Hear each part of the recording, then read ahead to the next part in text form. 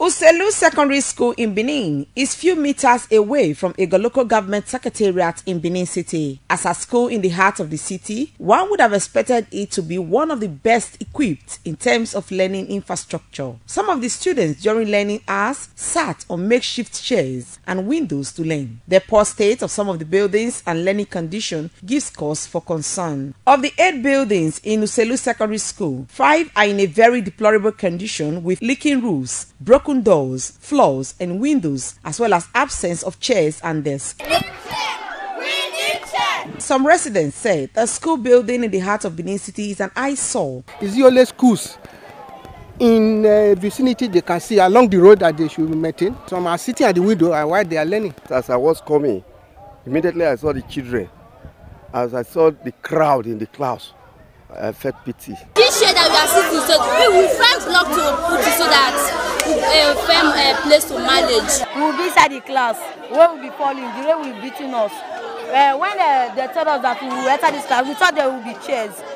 So when we entered the class, it was only uh, sand everywhere. There's no cement, nothing, nothing, no chairs.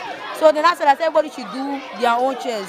People were not doing their own. I did my own. The government of Edo State says it is aware of some few schools that needs urgent rehabilitation. The State Commissioner for Education, Dr. Joan Osa Oviawe says the governor of Edo State, Mr. Godwin Obaseki, inherited rot in the education sector and has been reforming the system in both welfare of staff and learning tools. When we started this um, infrastructural reform in 2017, more than 50% of kids in our primary schools were sitting on the floor.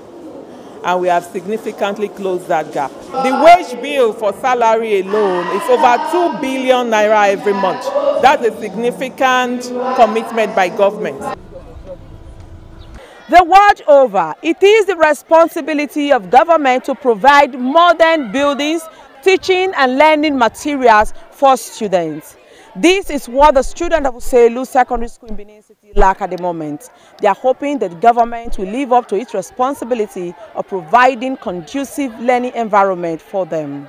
From Uselu Secondary School in a local government area of Edo State, Best Mbire reporting.